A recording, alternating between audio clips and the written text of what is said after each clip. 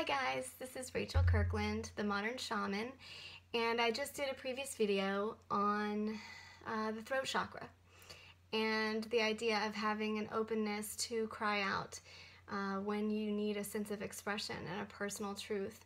Uh, the natives did this a lot, as I talk about in that video. A lot of cultures have a commonality of giving personal expression just through vocalization, not necessarily needing a language or needing it to mean anything other than the frequency of what's being felt, the tonal expression. So I wanted to do a little drumming and crying out to just give you guys a um, just kind of a sense of encouragement to do it on your own. You don't necessarily have to have a drum. I mean, you could put two sticks together or you could just express.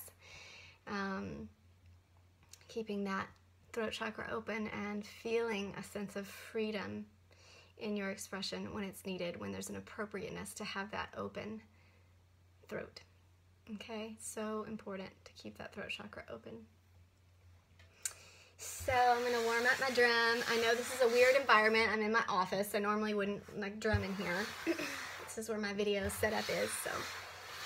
And this is my beautiful, beautiful drum. And this elk shared its skin to make this beautiful instrument.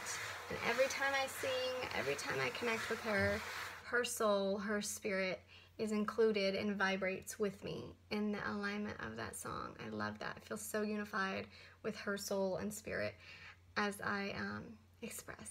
So, skin on skin, warming my love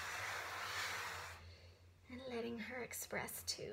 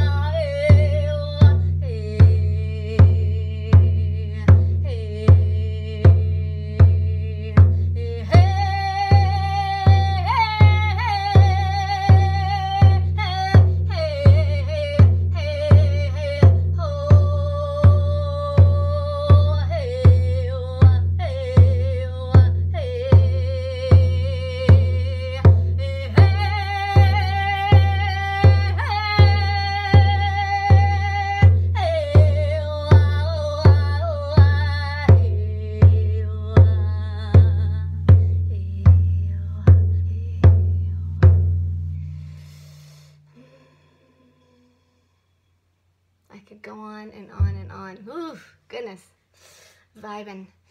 I just wanted to do a short snippet.